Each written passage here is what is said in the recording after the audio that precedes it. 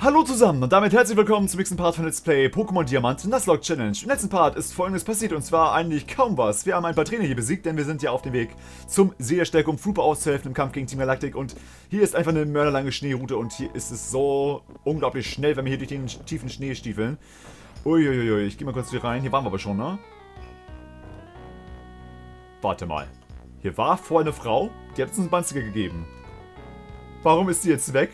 Die war damals schon so komisch, irgendwie geisterhaft. Und jetzt ist sie ganz weg? Jetzt, jetzt habe ich echt Angst. Okay. Jedenfalls haben wir ein paar Trainer besiegt und wir haben äh, hier auch unseren Encounter gefangen. Und zwar ein Schneebedeck. Aber naja, Schneebedeck werden wir wahrscheinlich eh nicht benutzen. Ich schaue mal kurz hier links rüber. Hier gibt es noch so viele Trainer, Leute, und so viele Items noch. Äh, wir sollten aber heute wirklich... Oh, Form 8 Kraxler. Schön, dass wir den noch finden. Gut, dass ich den Teil jetzt nicht ähm, irgendwie besprungen habe. Denn wir müssen noch so viel hier eigentlich sehen. Guck das mal hier ist noch ein Item. Mitten im Schnee versunken. noch, noch was, eine schöne Attacke hier. Hagelsturm brauchen wir auch nicht, aber egal. Wir haben einen, also so viele Trainer zu machen hier eigentlich, aber ich habe keinen Bock dagegen, weil wir jetzt schon so lange hier auf dieser Route rumhängen, also wollen wir ehrlich sein. Warum verloren? Versteht ihr, was steht gleich Ja, jetzt habe ich die gefunden. Ah, okay.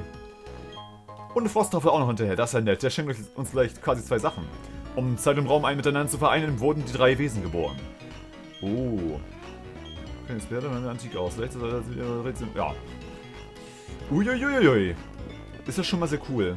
Im wahrsten Sinne, es ist verdammt kalt hier. Oh, so. Ähm, geht ihm jetzt aus dem Weg kommen, diesen einen Kampf machen wir noch. Ein bisschen... Hallo? Na, geht doch. Ein Part geht nämlich hier trotzdem machen. Wir werden heute irgendwie durchkommen, definitiv. Ich fahre seit meinem fünften Lebensjahr mit dem Pokémon Ski. Und das ist zwar lebensgefährlich, aber es ist mir komplett egal hier im Schnee. Also es ist deswegen so lebensgefährlich, weil hier so ein harter Schneesturm turnt. Eigentlich ist es total unlogisch, dass hier in so einem harten Schneesturm überhaupt Skifahrer sind. Und wenn es schon mit, fünf Jahr, mit dem fünften Lebensjahr gemacht hat, dann okay. Dum, dum, dum, dum. Meryl sogar. Da kann ja sogar Present was machen, da freue ich mich.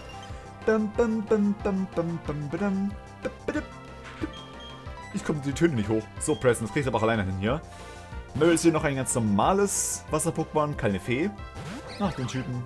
Wo es den hier nicht mehr gibt. Der, also, den hier noch nicht gab, der ist ziemlich stark. Wasserregen. Ich hoffe, ich kann die Horn hitten, das wäre sehr schön. Und der Hagel auch noch, okay. Damit kann er quasi seinen, äh, den Schaden durch den Hagelsturm wieder äh, regenerieren hier. Das ist ja auch ziemlich praktisch.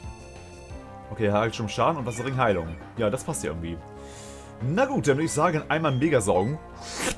Und weg ist das Meryl. Hoffe ich mal, oder? Das wird vielleicht kein 100 sein. da will ich jetzt gerade mal. Ich werde jetzt ein Level höher. Meryl's Spezialverteidigung ist jetzt nicht so gut. Es reicht zum 100 Session, weil es ein Crit war. Okay, jetzt können wir es leider nicht messen. Na gut, egal. Es reicht auf jeden Fall, um mich wieder komplett hoch zu sein. Hat sich doch gelohnt. Das ist doch sehr schön. Und hier noch ein paar Erfahrungspunkte und da auch noch ein paar. Sehr schön. Ich denke mal, Party wird irgendwann ein sehr guter Supporter. Ich habe noch nebenbei vergessen, wir haben ja noch die Tarnstelle bei uns im Inventar. Die können wir ihnen nämlich auch beibringen. Ich glaube, die Tarnstelle können gar nicht so praktisch sein hier. Da werden wir mal schauen.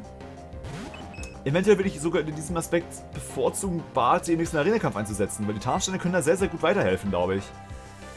Da müssen wir mal sehen, da bin ich sehr gespannt. Also kann ich mir denken, Bonzo wird generell ganz gut sein.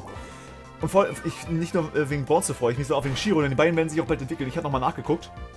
Meti auf Level 37 und Bronze sogar schon auf Level 33, schon recht früh also noch. Oh Gott, Metronom, was kommt jetzt? Was kommt jetzt? Armstoß, okay, das ist kein Problem. Damit kann ich leben. Solange es jetzt keine K.O.-Attacke wird, obwohl die würde eh nicht treffen, weil die ein Level höher sind. Aber sonst anderer Scheiß, der jetzt gekommen wäre, wäre jetzt auch ziemlich blöd gewesen. Na gut. Dum, bam, bam. Na gut, na gut. Da freue ich mich schon. In Mediti, wenn es zum Militaris wird, ist ein so wichtiges Mitglied dann. Denn dann hat es so einen starken Move-Pool. Wir müssen dann dringend zurück nach Weideburg reisen, denn dann kannst du die ganzen Element-Punches lernen. Das soll heißen Donnerschlag, Feuerschlag, Eishieb. Die kann es alles lernen als Militaris. Das wird so hammer-episch, Leute. Was wir da für eine geile Coverage haben. Auch vor allem mit diesem geilen Angriff mit der Fähigkeit Mentalkraft, äh, wie sie heißt. Das ist so episch, Leute. Gut, dass wir Metals dann haben. Ja, Anziehung von dem Pipi, oh mein Gott. Jetzt stell ich mal vor, ich hagelt ja gerade. Und mit der Erdanziehung, wir müssten ja total erschlagen werden eigentlich. So von der Logik her müssten wir jetzt immer doppelten Schaden durch, die, durch den Hagel bekommen. Bei Erdanziehung. Das müsste ja richtig wehtun. Bei doppelter Erdanziehung. Ein Hagelsturm. Ah. Oh mein Gott. Bloß nicht. So, Spuppe kann ich auch mal einsetzen. Ah ne, du bist ein Normal-Pokémon hier. Fuck. Ich dachte, du bist eine Fee. Bin nicht blöd. Und kostet Kraft. Das war ja ganz klasse. Da muss ich mich erstmal wieder an die viele Generationen gewöhnen. Du bist ja hier keine Fee mehr. Oder noch keine Fee, besser gesagt. Ah, bin ich blöd. Ich wollte wollt gerade AP sparen eigentlich. Jetzt habe ich da stattdessen einen AP eigentlich verschwendet. Äh. Jetzt können wir schön Schaden.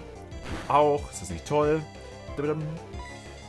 Oh Mann. So, weg mit dir. Ja, da freue ich mich, wenn so ein Team wieder vollständig ist, quasi. Also mit voll entwickelten Pokémon. Dann wird Shiro ein richtiges, richtig wichtiges Mitglied sein. Muss ich ehrlich sagen. Und auch Barzi. Das wird ein ziemlich cooler Supporter sein mit Tarnstein. Dann würde ich ihn auch gerne echt mal in der Arena einsetzen. Nicht unbedingt im Arena-Kampf, aber vielleicht sogar in den Kämpfen bei den gegnerischen Trainern. Oh, erwarte. Was? Ja, du bist besiegt worden. Genau. Das wäre schon mal ziemlich interessant, dass ich da mal Barzi bereits einsetzen kann. Oh, das ist ein... Ein Dingskämpfer. Ich glaube, da werde ich mal Franz einsetzen, oder? Obwohl, ich habe immer so Angst, weil die ganzen Kampf-Pokémon Gesteinsattacken beherrschen. Obwohl ich das scouten kann natürlich mit unserem Schutzschild, aber es ist mir trotzdem zu heikel, weil dann muss ich wieder irgendwas reinwechseln. Das ist total blöd eigentlich.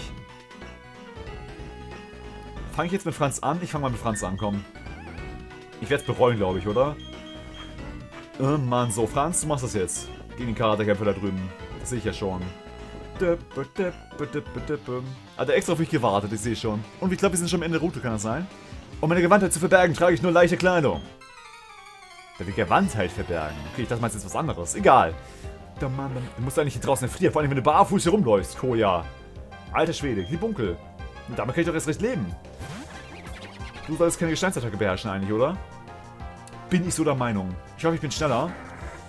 Dann könnte ich der möglichen Angeberei entkommen. Das wäre sonst nämlich ziemlich blöd.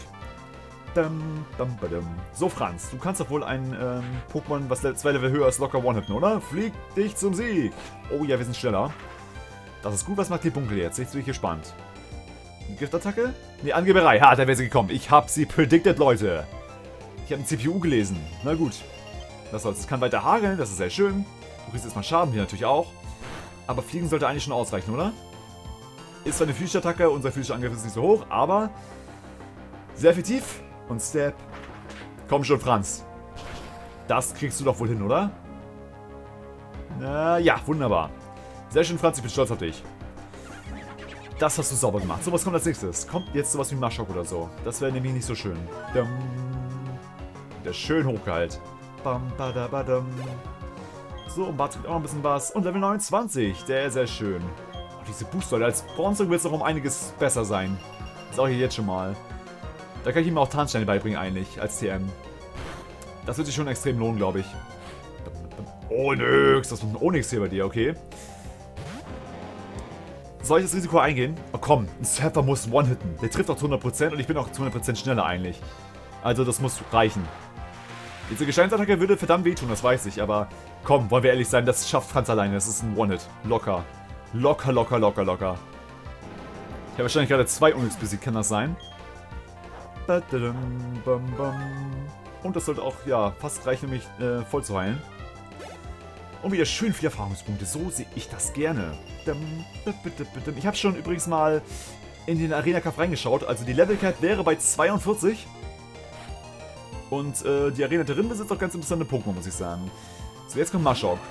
Davor habe ich ein bisschen Angst gerade tatsächlich, weil Fliegen da nicht, äh, nicht unbedingt ausreicht. Und Gesteinsattacken, je nachdem, können mich auch in der Luft treffen. Ich will erstmal ein bisschen scouten. Schutzschild. Was machst du? Jetzt bin ich gespannt. Überwurf, okay. Ja, das kann ich auf jeden Fall noch ab. Ich werde jetzt Fliegen einsetzen. Und wenn du jetzt eine Gesteinsattacke einsetzt, bring ich dich um. Definitiv, weil du um uns umgebracht hast wahrscheinlich. Ich, ich setze jetzt auf Fliegen. Ich werde es riskieren, Leute. Franz macht das jetzt. Franz wird das hinkriegen. Ich vertraue Franz. Wir sind ja auch schneller. Das ist auch sehr schön. Was macht er jetzt? Macht er noch einen Überwurf? Dum -dum. Überroller, okay. Aber es trifft mich hier oben nicht, okay. Würde auch kaum Schaden machen eigentlich. Ja, Maschak wäre, glaube ich, auch gar nicht so gutes Team, weil er eigentlich nur Kampfattacken beherrscht. Vor allen Dingen durch, nur durchs Level up. Da wird er wahrscheinlich auch nur Kampfattacken beherrschen können. Da müssten wir ihm irgendwelche Tennis beibringen. Da würde kein Weg dran vorbeiführen. Reicht es denn wirklich zum One-Hit? Da bin ich jetzt mal gespannt. Nee. Aber ein zweiter wird auf jeden Fall reichen dann. Ein zweiter One-Hit quasi. Was kommt denn jetzt? Machen wir ein bisschen Überroller, denn das macht dir doch Schaden tatsächlich. Obwohl... Ja, da kommt er, aber der geht daneben. Sehr schön. Wunderbar. Best-Case-Szenario. Jetzt werde ich nochmal eine Runde fliegen. Obwohl, eigentlich müsste auch ein Surfer ausreichen, oder? Reicht ein Surfer da aus? Komm, dann kann ich eine Runde sparen, dann will ich auch keinen Hagelsturm-Schaden mehr bekommen. Dann müsste eigentlich auch ein Surfer ausreichen. Auch wenn er nicht sehr effektiv ist, der ist neutral, aber trotzdem Step, aber geht auf, spezielle, äh, auf den speziellen Angriff. Ja, natürlich reicht er aus. Natürlich reicht er aus. Und wieder ein bisschen schön heilen hier bei Franz. Wunderbar. So sehe ich es gerne, Jungs. So sehe ich das gerne. Hachi! Ja, das hätte ich mir denken können, mein Freund. Das war definitiv kein normaler Ausruf. So, wir sind am Ende angekommen. Ja, See der Stärke sind wir schon. Endlich, Leute. Wir können jetzt auch ein paar Trainer machen unten. Und hier ist sogar noch einer. Okay, der fangen ja auch direkt mit Shiro an. Da ist ja sogar noch ein Trainer. Wie gesagt, da unten sind noch ein paar Trainer, das weiß ich. Das werde ich mir jetzt noch aufsparen. Die werden wir irgendwann später machen. Aber jetzt noch nicht, weil jetzt haben wir echt schon lange genug hier dran gesessen. Was gibt es denn? Ein Pokémon-Kampf? Ja, sowas soll es geben, angeblich. Davon habe ich mal in irgendeiner Form gehört. Vor allem, wenn du Nasskiner bist, musst du ja irgendwie davon gehört haben. Aber ich glaube, das, das, die schlottert einfach die Knie, kann das sein? Okay, er wird Shiro auf jeden Fall nicht drin bleiben. Weil ich werde da kaum Schaden machen können wahrscheinlich. Das glaube ich nicht. Oh, ich freue mich schon so auf Militares, Leute. Wenn man bedenkt, dass die Arenaleiterin, eine Eis-Arenaleiterin, auch ein Militares hat. Im Team. Ja? Ihr habt richtig gehört. Wie auch immer das gehen soll. Soll Franz sich drum kümmern? Wenn ich diese spezielle Attacke bekomme, ist das nicht so schön. Soll das Mert machen? Obwohl es ein epischer Kampf Roserade gegen Roselia wäre auch ziemlich cool. Aber es wird sie auch ziemlich lang ziehen, glaube ich. Bam, bam, bam. Mert, mach du das einfach mal. Du kriegst das auch hin. Vor allem kriegst du, kurz zum Level up. Das wäre sehr schön praktisch. Wenn ich das noch bekommen würde. Verwurzt, okay. Ob das jetzt so viel weiterhelfen wird, jetzt kannst du dem Hagelsturmschaden entgehen, klar. Aber es ist mir persönlich egal. Dim, dim, dim, Hätte ich sogar eigentlich auch in Franz gehen können. Mit dem Fliegen müsste ich dich eigentlich one-hitten können. Theoretisch. Aber kriege ich immer so extra Schaden durch Hagelsturm, das ist auch nicht so schön. Das ist auch nicht so schön. Wie einfach die ganzen ähm, Nährstoffe damit in den Kopf reingehen. Habe ich gerade gesehen in der Animation. Funkensprung. Mach das Ding fertig. Gib ihm Funkensprung, Digga. So. Ach ja, es sind nicht effektiv auf Pflanzen, ne? Hätte ich ja fast vergessen, aber das reicht eh zum Tuit. Nein. Okay, danke schön. Nicht treffen. Ist genauso schlimm wie Hypnose. Auch die gleiche Volltreffer, äh, Volltreffer-Chance, sag ich schon. Die gleiche Chance zu treffen. Mit 55%. Lieber, lieber nicht. Babadam, bam, bam. Und dieser Funksprung wird ja auch reichen. Scheiße auf Herr Wurzler. Ich bin froh, dass wir endlich diese Route abschießen können. Wie gesagt, die anderen Trainer, die da noch sind, die werden wir irgendwann später machen wenn ich mal Bock drauf habe. Und wenn wir irgendwas, äh, wenn wir trainieren müssen, ja genau, vor der Arena wahrscheinlich werden wir es machen. Aber ich möchte erstmal weiter in der Story kommen, denn das dauert mir hier zu lange. Mann, Mann, Mann. Oh, und ein dicker Crit. So, das ist ein Droselia. Was hast du noch so? Du hast noch ein zweites Pokémon, glaube ich. Reitest du ein Level up? Nicht ganz. Schade. Nicht ganz, nicht ganz. Fall die Roselia hier in Hagel einzusetzen, das ist auch sehr interessant. Was hast du sonst noch? Du hast einen Golking. Oh, das passt perfekt.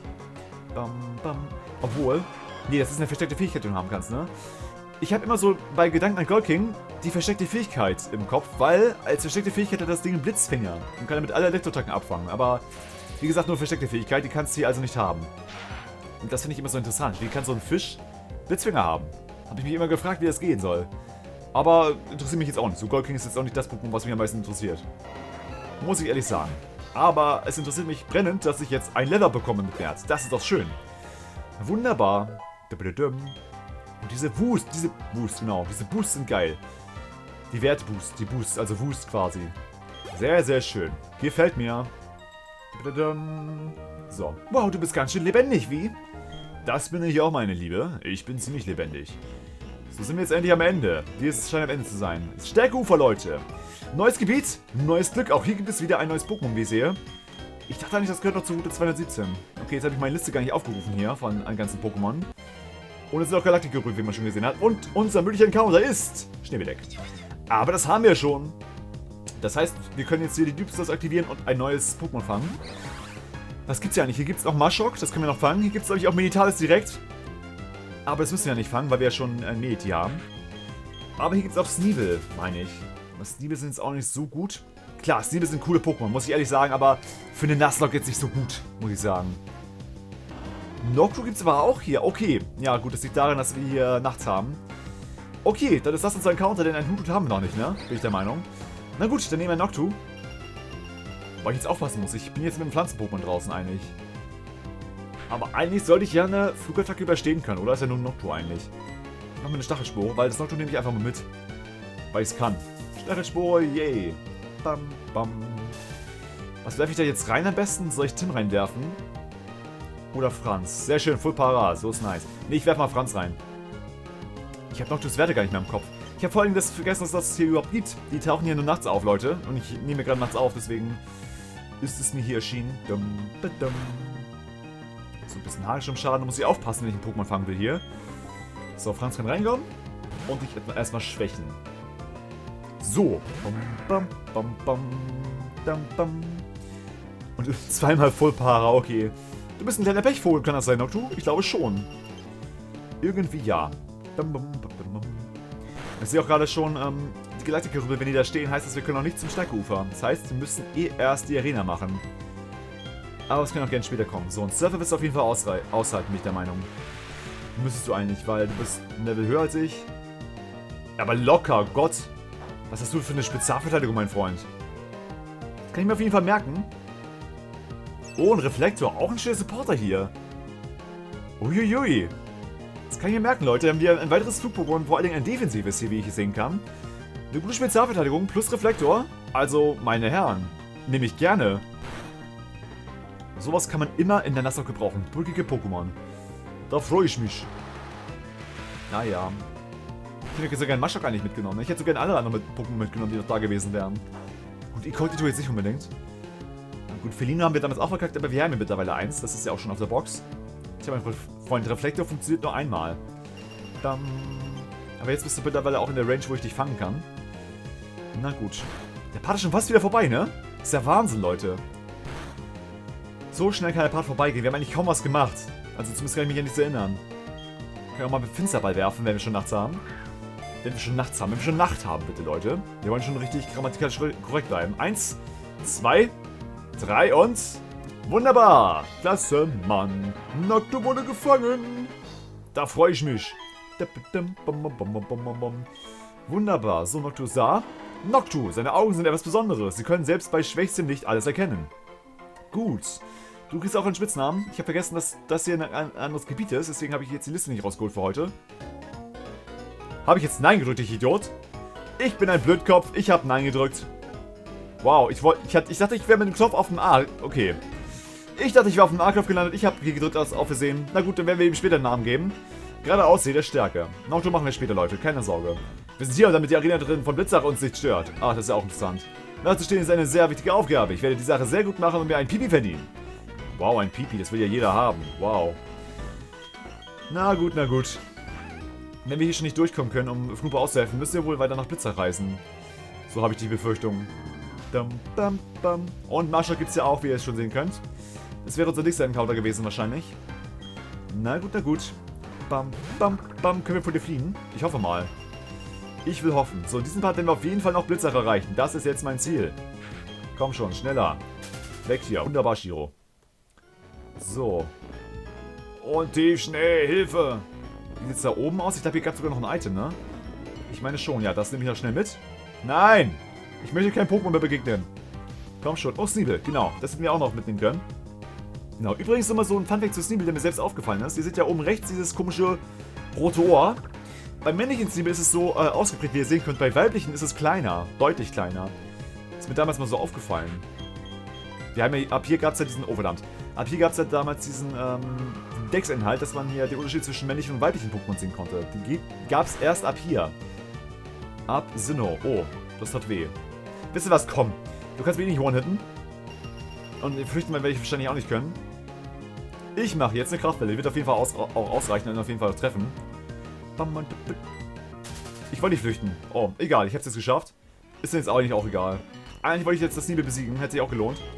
Hyperball. Sehr cool. Na gut, weiter geht's. Und wir werden es diesmal schaffen, Leute. Wir kommen an. Warte kurz, ich nehme ein anderes Pokémon nach vorne. Mehr ist ja schneller. Da können wir, auf jeden, können wir auf jeden Fall mal flüchten. So, komm schon. Wunderbar. Und auch hier nochmal durch. Wunderbar, Leute. Wir haben es geschafft. Sehr schön. Das war der letzte Grasleck. Und wir müssen jetzt da sein. Ich sehe schon ein Haus, Leute. Wir sind im Blitzach. Yay! wir haben es geschafft, Leute. Wir sind im Blitzach angekommen. Und ich würde sagen, jetzt herrscht sogar kleiner fallender Schnee. Sehr schön. Ich würde sagen, wir sehen uns beim nächsten Mal wieder. Und wir könnten dann das komplette Blitzach hier und werden uns dann an die Arena wagen. Zwischendurch wahrscheinlich noch ein bisschen trainieren, außerhalb der, von Blitzach, wo wir noch keine Trainer äh, besiegt hatten. Und sobald wir den Orden haben, geht es auch zum See der Stärke, um Team Electric aufzuhalten. Bis zum nächsten Part also, bis dann und auf Wiedersehen.